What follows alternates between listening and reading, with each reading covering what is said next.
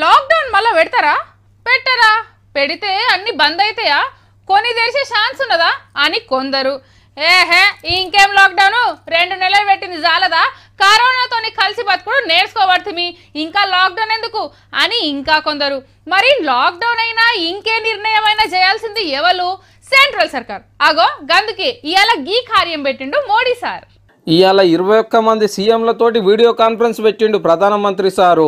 కరోనాను కంట్రోల్ చేయడానికే మంచిగా పనిచేస్తున్నాం బిజినెస్లు మళ్ళా తువ్వకొచ్చినాయి మాస్కులు లేకుండా బయటికి రావద్దు ఎవరు బుగులు పడద్దని సందేశం ఇచ్చిండు. అయితే తక్కువ కేసులున్న రాష్ట్రాల సీఎంలతోటే మాట్లాడిండు ఇవాళ రేపు మహారాష్ట్ర తమిళనాడు ఢిల్లీ గుజరాత్ రాజస్థాన్ తెలంగాణ సీఎంలతోటి వీడియో కాన్ఫరెన్స్ ఉంది.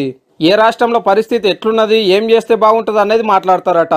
ఈ ముచ్చట ఇట్లుంటే తెలంగాణలో యాభై వేల టెస్టులు చేస్తామన్నారు కదా. గా పని ఇయ్యాల సురువైంది. కాకుంటే ప్రైవేట్ల టెస్టులకు జరంత టైం పడుతుందట.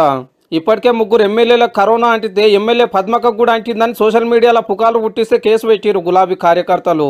అయితే కరోనా అంటిన ఎమ్మెల్యేలకు కూడా గాంధీ దవాఖానలోనే వైద్యం చేయాలి. లేకుంటే గాంధీలు ఉన్న కూడా ప్రైవేట్లకు తీసుకురావాలని నిరసన చేసిండు గీ అన్న. కోటిలో గోకుల్ చాట్ ఓనర్కు వైరస్ అంటితే దుగ్నం మూపిచ్చిరు ఆఫీసర్లు. ఇప్పటికే ఐదు వేల కేసులు దాటినాయి తెలంగాణలో. ఇంకో దిక్కు కొందరు పెళ్ళిలు పార్టీలు పార్టీలను తిరుగుతుర్రట. ఈ సంచోళం గట్టిగానే అరుచుకున్నాడు ఈ డాక్టర్ సారు. అయితే లెక్కలేదు ఇప్పుడు బాజా పోయింది ఒకటి. దుమ్ము దుమ్ము బాజా చేసుకుంటే డ్యాన్సులు చేసుకుంటూ డీజే పెట్టుకొని ఒక యాభై మంది జులూస్. బాగా తిన్నది అరగాక నలుగురిని పిలిచి గెట్ తిరిగితే అందరూ అందులో నలుగురికి పాజిటివ్ ఉంది. ఇప్పుడు ఏం చేస్తుంది ఏం పరిస్థితి? మనుషులమే కదా మనం. మనది మనకు సోయి ఉండాలి కదా.